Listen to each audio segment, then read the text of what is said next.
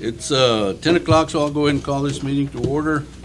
This is a regular commissioners, I'm sorry, a special commissioners meeting uh, for Commissioners Court, Starr County, Tuesday, September 18th. Uh, Let the record show that we do have quorum, everyone being present, and thank you all for being here. Appreciate you all being. If everyone will please stand for the pledge of allegiance. I pledge allegiance to the flag of the United States of America and to the republic for which it stands, one nation, under God, indivisible, with liberty and justice for all. We only have two items on the agenda. One's a budget, the other's a tax rate. Uh, I guess we go through the budget first. The budgets that you all have are pretty much what it is. Uh, I did make one slight change to the ones that you had at the beginning, and it was to change the, the tax rate to give Road and Bridge more money and take it from general the old tax rate for the uh, road and bridge was .2355.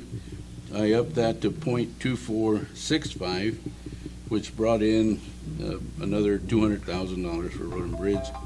The general, I reduced it from .5329 to .5219, and that reduced it also uh, about the same thing, about 200 and some thousand from from general. Uh, That, the difference was in the rainy day fund. The rainy day fund for the general went to about hundred and ninety thousand. The uh, road and bridge uh, rainy day fund went to about almost six hundred thousand, I believe it was. It's, uh, between both of them, it's about three quarters of a million dollars that we are planning to uh, have fund balance at the end of this coming year. Uh, Judge, Yes, one sir. question. Uh, do, uh, by you fixing that there, we won't have to worry in the general fund to continue borrowing money from the general fund to the road and bridge, right? That is correct, yeah. uh, Yeah, Th- this year, I think that's the problem that we had. Uh, Road and Bridge uh, was low, General had excess, So now, now we got it, you got it balanced, so It should be we don't have that kind of problem in the near future. correct, Towards the end of the fiscal year. correct, yeah. That, that's the reason for, for doing No that. problem. Also, also the other reason is that for years, we've been doing that. At the end of the year, we, we move money from general to road and bridge because the law allows it. The law does not allow it to move money from road and bridge to general, so we were always uh, over. And that's the reason that in the books, it shows that road and bridge uh, owes general a heck of a lot of money, but uh, that's the way it was designed.